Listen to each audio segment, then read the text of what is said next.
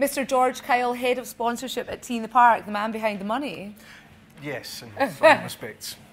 Okay, now you've got quite a few different things that you're doing this year, as you do every year, starting with the T Break stage. Yeah, uh, T Break is is you know, in terms of Tennent's Lager's commitment to music, we have the two ends of the scale. We have T Break, which celebrates um, Scotland's unsigned musical talent, and we also have obviously a tea in the park itself, which we're here to launch today.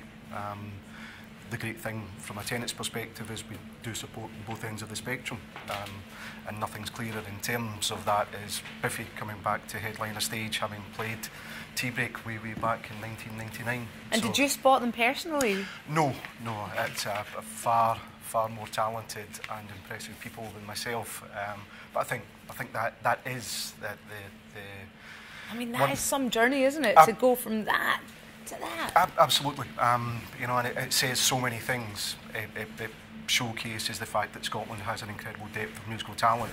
It showcases the fact that Scotland can support and recognise bands at that level who can then go on to achieve international, worldwide fame and stardom.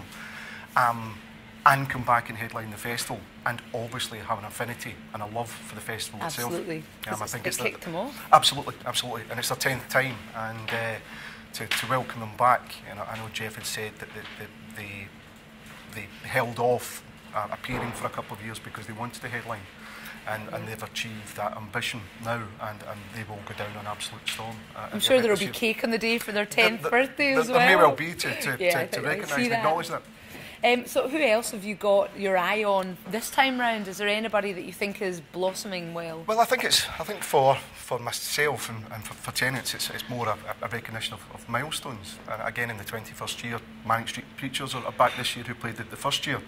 Um, Paolo um, is back again, and, and Paolo's played the, the T Break stage again. Didn't come to the T Break programme, but has a love for T in the Park and has a love for the, the T Break programme that he, he, came and he, he came and appeared.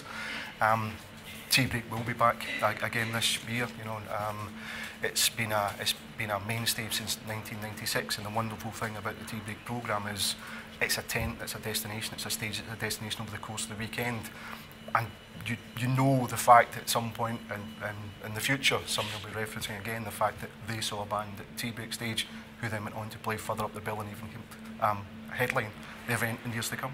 Brilliant. Now, a couple of quick questions. Yes. Who are you looking forward to seeing this year? Um, for myself, uh, Pharrell. Um, I, I, I, saw, I, I, actually saw Pharrell uh, play after the MTV Awards in the, the Corn Exchange in, in Edinburgh, um, and it was we, we attended the, the awards themselves, which were it was an event. You know, it was yep. a it was a world class, but it was a made for TV event. It felt a bit sterile. Um, the real event was NERB playing at the Corn Exchange and, and then to see that performance, but to see him joined by the likes of uh, Sean Paul, uh, Justin Timberlake, Beyonce, um, Black Eyed Peas was incredible. Um, so again, a sense of full circle coming to play Teen the Park when he is the man of the moment will be incredible. Absolutely. And also, as, as the man that's got tea Tennent's galore, uh, who is it that guzzles the most uh, Tennent's? Obviously, we drink responsibly at festivals, but are there any bands that you can spill the beans on? No, I think, uh, I think again, Geoff has shared the stories over the years. Uh, I think there's a romantic myth of the excesses that bands and artists get up to. And uh, that maybe happened in, in days of yore, and they all seem to be on their very best behaviour nowadays. okay, that's way too clean an answer, but okay, I'll let you off with it. Thank you very much, George Kyle. Pleasure, Bev. Thank you.